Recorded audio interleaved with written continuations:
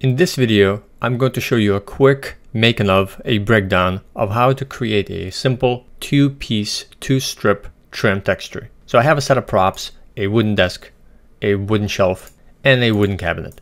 And I want to use the same texture on all three of these, and I want to use one material for all of them, because I don't want to have to uniquely texture every single one of these. That's unnecessary. So I'm going to show you how to, to do this by using a simple plane with a cut. So the upper portion will be wood, lower portion will be metal. Then inside the UV, UV editor, the, the plane will be already done. You would export this plane into Substance Painter, assign textures or materials onto it. The upper portion will be wood, bottom portion will be metal. You would then export those textures and then you would UV every single one of these props so they occupy only those portions of the texture.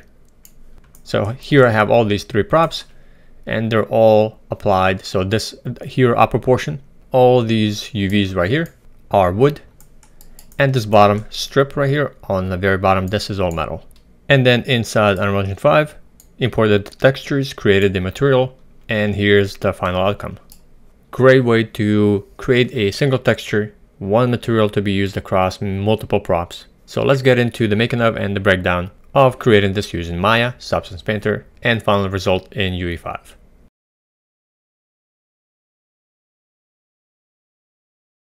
So here are the three props that I need the trim sheet for. I want to have these three props use the same texture and I don't want to uniquely texture every single one of these props. So to make this simple and to use one texture, use a trim sheet, but you need to prep that trim sheet in order to specify which parts are going to be a specific surface. So this is a wooden desk, a wooden shelf, and a wooden cabinet. And within each, with the exception of a wooden shelf, it has primarily wood, but it also has parts of it are metal.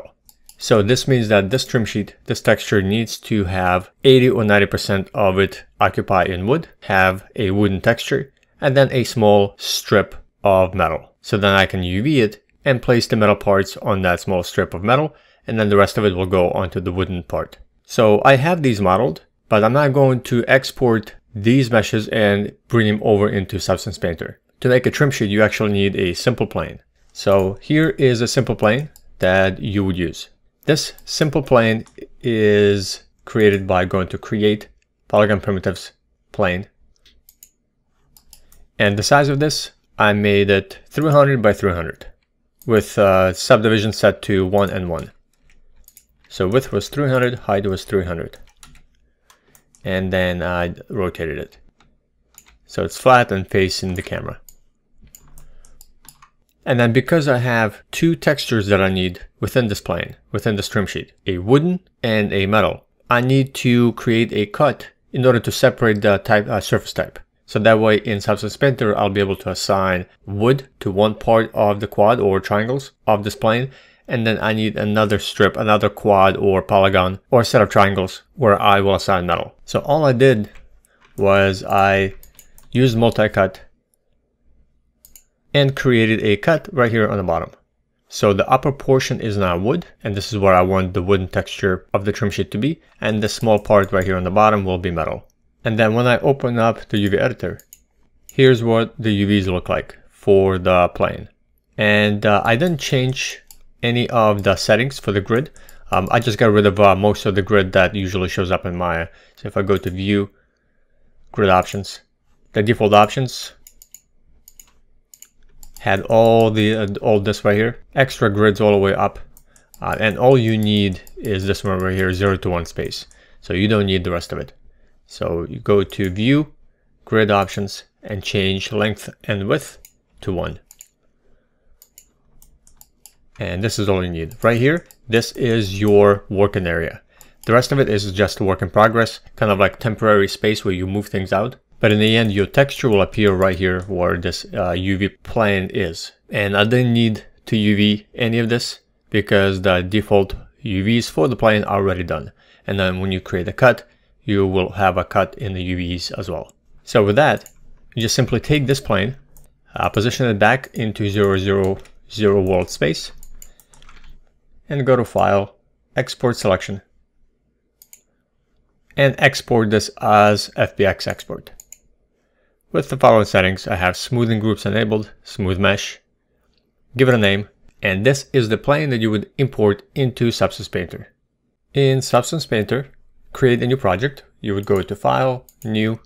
I use template, Unreal Engine 4. This works for Unreal Engine 5. And then you select the exported plane. Here it is, plane to strip. That's what I exported. And you just load that in and click OK. And here is your plane.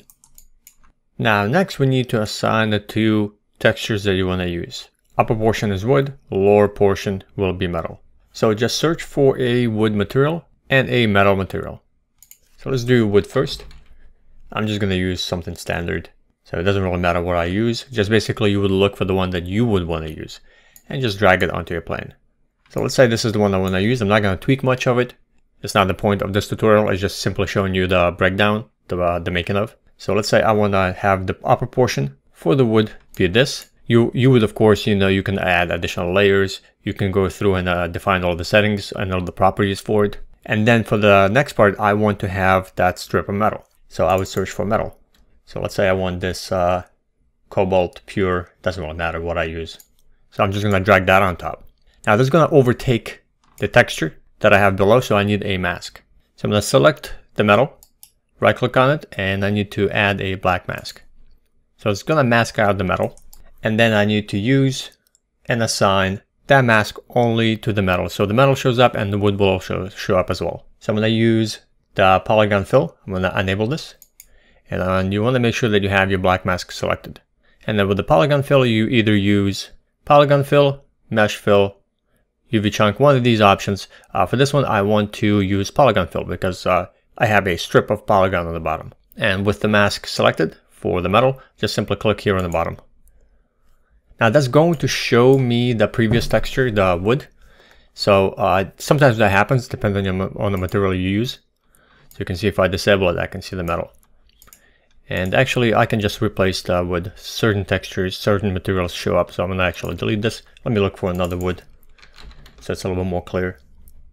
Let's do the bamboo. And I'm gonna move the bamboo below the metal. So now this is a little bit more clear. So that kind of that material, that normals don't show up on the metal part. It just sometimes happens in certain materials. So now I have the upper portion where I will put all the UVs of where I want the wood to be on those three props. And for the bottom, I have a strip where all the metal parts are going to go, all the UVs. So of course you would define for each layer, you add additional layers, you can define all the properties for each one, adjust the roughness, adjust the normal map, set up scaling and tiling, rotation if you need it, and so on.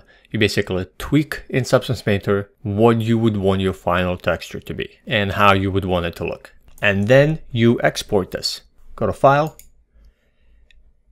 Export Textures, and then you would export them into a folder and you would just need to export your color, metallic, normal map. In my case, I don't have emissive, so I would disable this. And this metallic right here, this is actually three textures in one. You have your roughness in there as one of the channels, metallic as another channel, and then ambient occlusion as the third channel. And they're packed into one single texture. Now, in my case, I don't have ambient occlusion because I did not bake anything. And that's an important part when you're creating uh, trim textures using this simple plane method. You do not need to bake textures. You don't need to go to texture settings, go down here and bake mesh maps because you are simply using a flat plane to create repeatable textures as strip of textures that then you, you could just pack all the UVs into certain parts of this texture. So you don't need to bake anything. So once you've exported your textures, you would just UV your mesh. So back in Maya, you would take every single one of these props that you would want to have on this single texture, single trim sheet, and UV all of it into 0 to 1 space. So let me open up the UV editor. So I already have these UV'd, but you can see that here's the plane.